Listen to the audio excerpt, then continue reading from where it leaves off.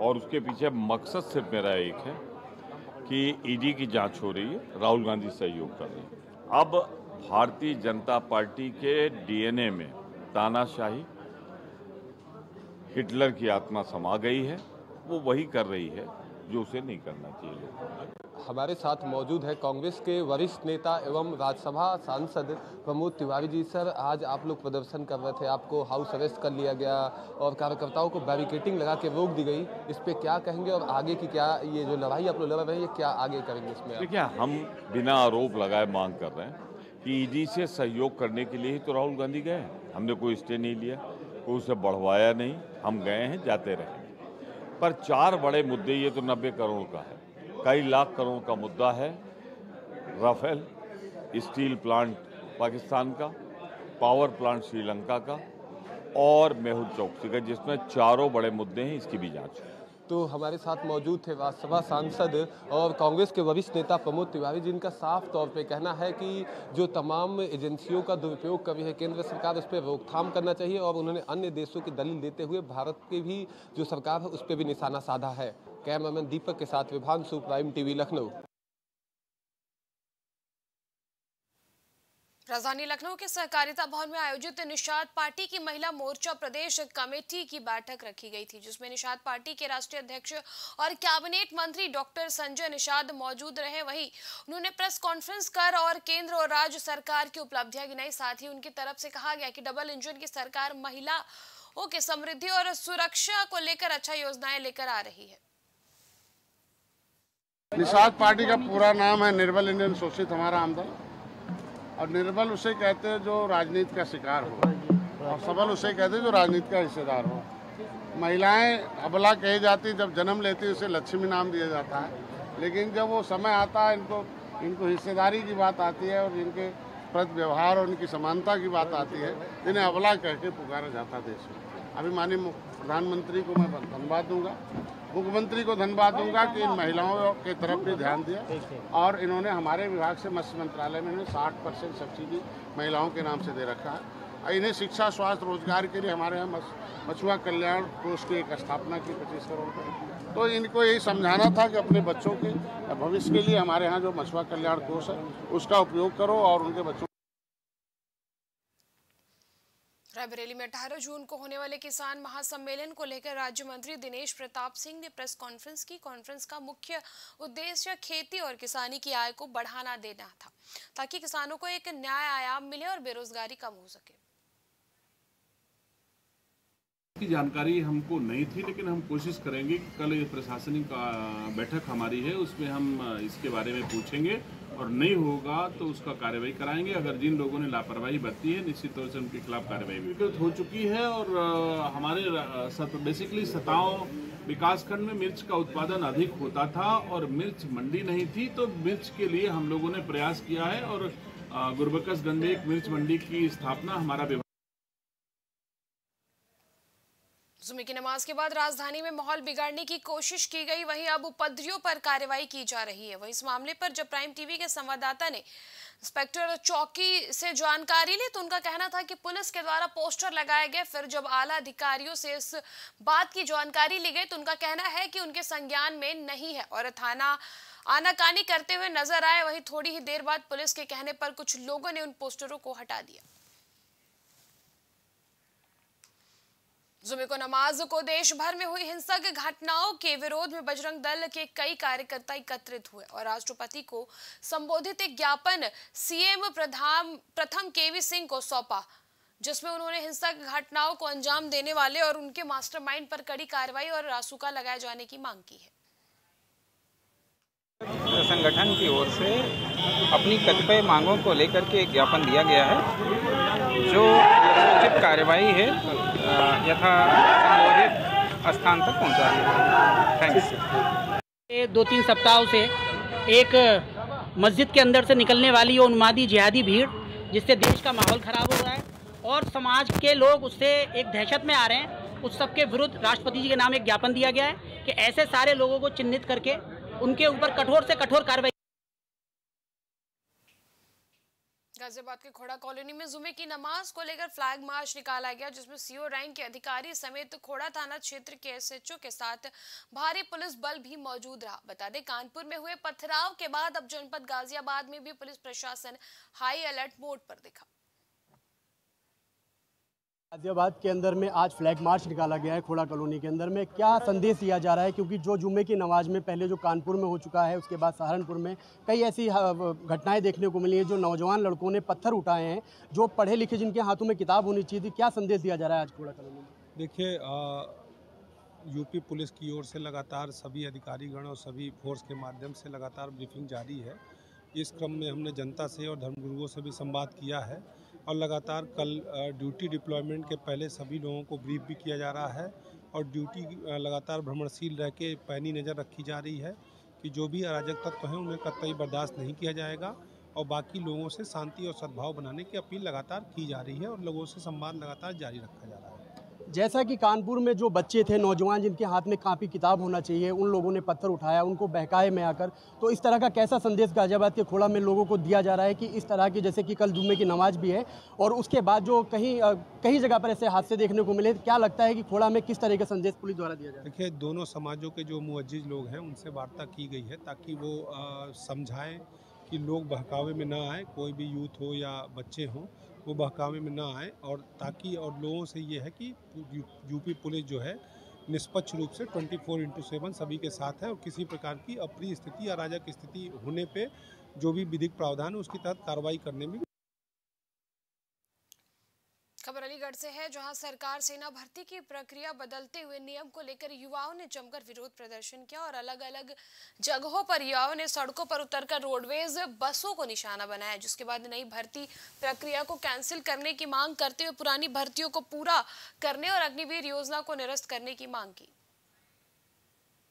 प्रदर्शन ये इसलिए किया था क्योंकि हमारी पुरानी भर्ती रुकी हुई है। उसे डेढ़ साल हो गया और दो साल होने वाले हैं, दो महीने दो साल हो जाएँगे उसके। वो भर्ती प्रक्रिया वो साल चालू नहीं है और प्लस इन्होंने एक नया प्रस्ताव हमारे सामने रख दिया है, टीओडी वाला, चार साल वाला। इससे हमारा कुछ नहीं होगा, टीओडी बिल्कुल वापस ले लें अपनी और हमारी पुरानी भर्ती है, उसे क्लियर करा दें कुछ छात्रों का विरोध था। कुछ तो वो जो पहले से भर्ती चल रही है उस प्रक्रिया को पूर्ण कराने के लिए मांग थी और एक जो नई जो टीओडी है उसका विरोध मेन दो ही मांगे थे ज्ञापन ले लिया गया और शांतिपूर्ण उनको वापस ले किस तरीके की कोई नारेबाजी या किसी को उद्यम किया गया छात्रों को? नहीं कोई ऐसा विशेष नहीं था उनका शांतिपूर्ण था और वो शांतिपूर्ण हम लोगों केंद्र सरकार की अग्निपथ योजना के खिलाफ विरोध की आग बिहार से होते हुए गोरखपुरा पहुँची। इसी क्रम में सहजनवा कालेश्वर ज़ीरो पॉइंट के पास छात्रों ने पैदल मार्च करते हुए विरोध प्रदर्शन किया। छात्रों की मंशा थी कि चक्का जाम करने की, लेकिन पुलिस प्रशासन की मुस्तैदी की वजह से सफल नहीं हो सके। केंद्रीय सरकार द्वारा अग्निवीर योजना लागू की गई है। इसके विरोध में कालेश्वर चौराहे पर काफ़ी संख्या में छात्र एकत्र हो गए थे। उनको समझा बुझा के और उनका ज्ञापन लेके उनको वापस कर दिया गया। सर कितनी की संख्या में छात्र थे? लगभग डेढ़ सौ से दो सौ की संख्या में छात्र जान के रास्ता नहीं जाम किए थे लेकिन इकट्ठा हो गए थे वहाँ खबर हरियाणा से है, जहाँ विद्यालय शिक्षा बोर्ड की बारहवीं कक्षा के परीक्षा परिणाम से जिला शिक्षा अधिकारी मुनेश चौधरी खुश नज़र नहीं आए। उन्होंने कहा कि हालाँकि परिणाम पहले से बेहतर आए हैं, लेकिन इतने अच्छे नहीं हैं कि हम टॉप थ्री में जाए। अब हम आगे अच्छे परिणाम के लिए वो मेहनत करेंगे और जो कमियाँ रह गई हैं उन्हें दूर करने की कोशिश करेंगे। रिज़ल्ट वैसे तो अच्छा है, इम्प्रूवमेंट है पहले से। हाँ जी, पर इतना भी अच्छा नहीं है कि हम उसमें टॉप थ्री में हों। नीचे से थ्री में हमारा result eighty four point five nine percent रहा है। बात करें तो कंपार्टमेंट के कितने बच्चे कंपार्टमेंट के हमारे तेरह सौ सत्तानवे बच्चे हैं। और जो पास हैं क्लियर वो ग्यारह हज़ार सात सौ तीस बच्चे हैं। और टोटल जो अपीयर हुए हैं वो तेरह हज़ार आठ सौ सड़सठ बच्चे हैं। सात सौ चालीस क्लियर संभल से है जहाँ शुक्रवार की नमाज़ से पहले प्रशासन ने पूरी तरह से कमर कस ली है। भारी पुलिस फोर्स के साथ शहर में फ्लैग मार्च किया। वहीं उन्होंने पुलिस फोर्स को ब्रीफ करते हुए निर्देश दिए कि शहर की फिजा बिगाड़ने वालों के खिलाफ किसी भी प्रकार की रियायत नहीं बरती जाएगी और उनके द्वारा किसी भी प्रकार की गड़बड़ी होने पर सख्त कदम उठाए जाएँगे। जनपद संबल में जुमे की संवेदनशीलता को देखते हुए भारी मात्रा में पुलिस फोर्स संभल शहर में तैनात किया गया है। इसमें जो हमारे पास बाहर से फोर्स आई है, उसको भी लगातार यहाँ पर रूट मार्च और ये कराकर शहर की जो स्थिति है, उसका जायज़ा लिया जा रहा है।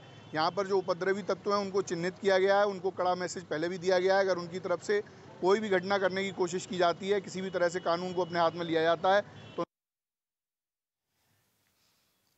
कौशाम्बी एक नाबालिग ने बाइक का पैंतालीस सौ रुपए का पुलिस चालान भरने के लिए पाँच साल के बच्चे का किडनैप कर लिया। इसमें उसकी गर्लफ्रेंड ने भी उसका साथ दिया। पुलिस ने जब मामले का खुलासा किया तो सभी हैरान रह गए। बुधवार को प्रयागराज के बैंक रोड स्थित एक घर से बच्चे को सही सलामत बरामद कर लिया। साथ ही अपहरण करने वाले दो किशोर सहित एक नाबालिग किशोरी को पकड़ लिया खबर फिरोजाबाद से जहाँ बेसिक शिक्षा विभाग के परिषदीय विद्यालय 28 दिन बाद खुले। इस दौरान विद्यालय के गुरुजनों ने पहले दिन छात्र छात्राओं को टीका लगाकर फूल माला पहनाकर और केक काटकर भव्य स्वागत किया। ये पूरे 28 दिन के बाद अब खुले हैं। बच्चों को विद्यालय में आकर बहुत ही सहज महसूस हो, उनको एक अच्छा वातावरण मिले। इसके लिए थोड़ा सा ये प्रयोग किया गया था कि विद्यालयों को निर्देशित किया गया था कि पूरे खुले मन से उनका स्वागत करें। विभिन्न प्रकार की गतिविधियाँ स्कूल में संचालित कराएँ, जिससे बच्चों को एक अच्छा वातावरण स्कूल आकर महसूस हो। और बच्चा इस बात के लिए मोटिवेट हो कि अब उसे प्रतिदिन स्कूल आना है। बिजौर से हत्या का मामला सामने आया है, जहाँ युवक की देर रात गोली मारकर हत्या कर दी गई। वहीं परिजनों का आरोप है कि पुरानी रंजिश को लेकर कुछ युवकों ने उसकी गोली मारकर हत्या कर दी। फ़िलहाल परिजनों की तहरीर पर पुलिस ने जाँच शुरू कर दी है। ये एक सचिन कुमार जी आए थे और जो हमारे पास आए थे तो ब्रॉड डेड थे मतलब एक्सपायर हो चुके थे। इनके सीने में गोली लगी हुई थी इनकी बॉडी को हमने मोर्चरी में रखवा दिया गया है पुलिस को सूचना कर दी। है इसमें कोई और घायल भी आया या ये आके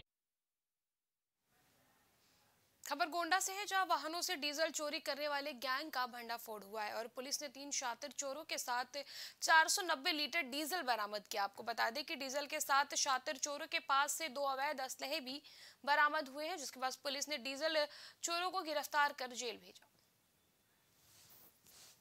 जनपद गोंडा में अपराध एवं अपराधियों के खिलाफ जो अभियान चल रहा है, उसी के तहत एसओजी टीम और कोतवाली नगर टीम को बड़ी सफलता हाथ लगी है। डीजल चोरी करने वाले एक गैंग का पर्दाफाश किया गया है। इसमें तीन लोगों को गिरफ़्तार किया गया है और इनके पास से भारी मात्रा में प्लास्टिक के जरकन, सात प्लास्टिक के जरकन, जिसमें करीब 500 लीटर चोरी का डीजल है, दो गाड़ियाँ बरामद की गई है और जो इंस्ट्रूमेंट ये इस्तेमाल करते थे गाड़ियों खोलने के लिए,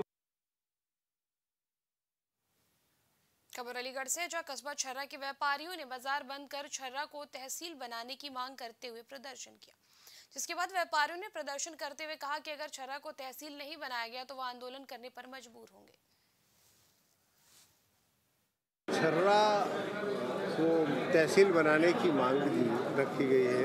उनके द्वारा चाहा जा रहा है कि छर्रा जो तहसील बने, वो उसका मुख्यालय छर्रा में तो आप लोगों का जो भी मांग पत्र है, जो ये ज्ञापन है, मैं जिलाधिकारी महोदय के माध्यम से माननीय मुख्यमंत्री जी को जो है, मैं प्रेषित कर दूँगा ज्ञापन हमने एस साहब को दिया है और बाज़ार तहसील छर्रा बनाने के लक्ष्य में हमने बंद किया है और हम चाहते हैं हमारी पूरी जनता चाहती है हमारे पूरे ओवर पास के सभी काश्तकार और बाज़ार के व्यापारी लोग सभी गिटे हुए हैं और सबने मांग की है कि हमारी छर्रा को तहसील बनाया जाए और हमने एसडीएम साहब को इसी बारे में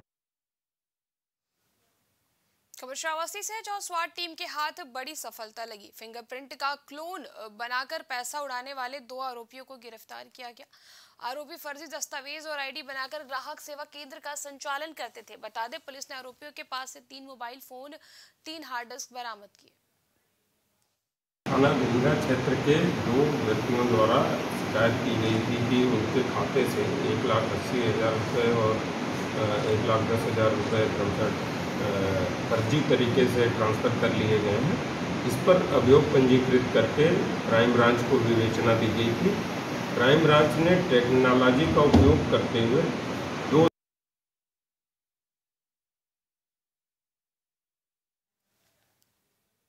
खबर संभल से है, जहाँ 12 जून को एक युवक का शव मिला और पास ही एक बाइक पड़ी थी, जिसमें हत्या से ज़्यादा दुर्घटना की आशंका नज़र आ रही थी। पूरे मामले का खुलासा करते हुए एसपी ने बताया, युवक के पिता का कहना है कि रविंद्र अपने छोटे भाई की पत्नी पर बुरी नज़र रखता था, जिसके बाद उसे अमरोहा के दो सुपारी किलर से दो लाख में अपने बड़े लड़के की हत्या का सौदा कर दिया। थाना एचौड़ा कम्बो के अंतर्गत मड़ावली रसूलपुर रोड पर पुलिया के नीचे एक युवक, जिसका नाम रविंदर है, इसका शव बरामद हुआ था।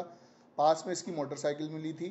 प्रथम दृष्टया जो एक्सीडेंट का मामला प्रतीत हो रहा था, बाद में जब इसमें गहनता से छानबीन की गई तो इसमें आज छः लोगों को गिरफ़्तार किया गया है, जिनके नाम विजय, जो इस मृतक का पिता है, गजेंद्र, जो इसका भाई है, धर्मपाल, नेत्राम, नारायण और राजीव। इस तरह से अमेठी में एक महिला सिपाही रेणु सिंह चौहान ने सराहनीय कार्य किया और महिला की चोरी हुई सोने की चेन को महिला को वापस दिलवाए। मंदिर पर हुए एक कार्यक्रम के दौरान चैन स्नैचिंग की घटना हुई थी।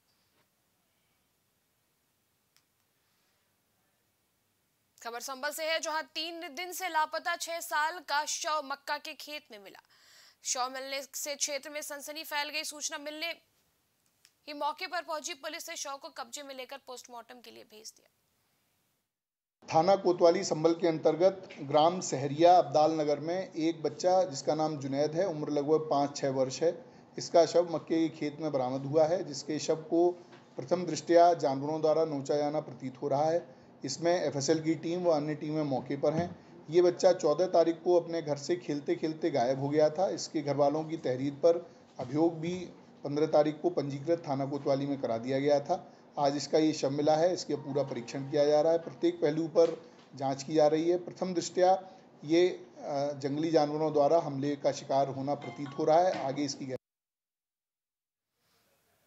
खबर अमेठी से है, जहाँ पैदल घर जा रहे दो युवक पीछे से आ रही तेज रफ्तार बाइक ने टक्कर मार दी, जिसके बाद युवक गंभीर रूप से घायल हो गया। आनंद फानन में दोनों घायलों को इलाज के लिए अस्पताल पहुँचाया गया, जहाँ दोनों घायलों का इलाज चल रहा है। तक की खास खबरों में इतना ही। देश दुनिया की और ताज़ा तरीन खबरों के लिए देखते रहिए प्राइम टीवी।